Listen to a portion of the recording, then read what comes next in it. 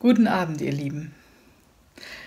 Heute möchte ich über das sprechen, was uns allen widerfährt, nämlich was es eigentlich bedeutet, auf dieser Erde zu inkarnieren, also hier geboren zu werden, dass das an sich schon so eine verrückt anstrengende Geschichte ist dass wir eben schon ganz, ganz früh ganz schlimme Erfahrungen machen müssen. Und sei es noch so schön, auch, auch wenn wir die allerbesten Eltern dieser Welt haben und die allerbeste Situation und in eine und gewollt sind und all das, auch dann ist das Inkarnieren selbst schon ein derartiges schwieriges Problem, denn alles, was geboren wird, Tier, Mensch, Pflanze, alles, was hier auf diese Erde kommt und inkarniert, inkarne heißt in Fleisch, also zu Fleisch wird, seelisches wird Fleisch, seelisches inkarniert. All das muss erst einmal mit den Bedingungen, in denen wir hier leben, sich anfreunden in irgendeiner Form und sich entsprechend anpassen.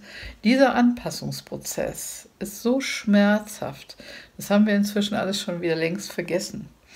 Aber was es bedeutet, in eine bestimmte Gesellschaft geboren zu werden, unter soziale Bedingungen, die schon da sind, längst bevor wir den Mutterleib verlassen, hier in eine, ich sage mal, in jedem Fall kalte, schmerzhafte und unfreundliche Welt geboren zu werden. Und wir kommen alle vom paradiesischen Licht und aus der, aus der Vollkommenheit und kommen in diese Bedingungen. Selbst gewählt. Wir wollen ja, wir wollen ja inkarnieren. Also ich gehe davon aus, dass wir einen Lebensvertrag abschließen und eine Aufgabe hier haben. Und wir nehmen uns das auf uns. Aber schon die Geburt und die ersten Jahre danach sind so hart, weil wir uns anpassen müssen, weil wir uns den Gegebenheiten anpassen müssen, um zu überleben. Wir brauchen absolut existenziell die Liebe unserer Eltern. Und wir merken schon ganz früh, ganz, ganz früh. Das fängt sofort eigentlich an. Kaum sind wir hier. Wir merken schon ganz früh, dass es Eigenschaften gibt, die mögen unsere Eltern und Eigenschaften, die mögen sie nicht. Und weil wir diese Liebe so existenziell brauchen, verbiegen wir uns. Wir tun dann Dinge, die uns gar nicht entsprechen. Wir verhalten uns so, dass wir geliebt werden, dass wir akzeptiert werden.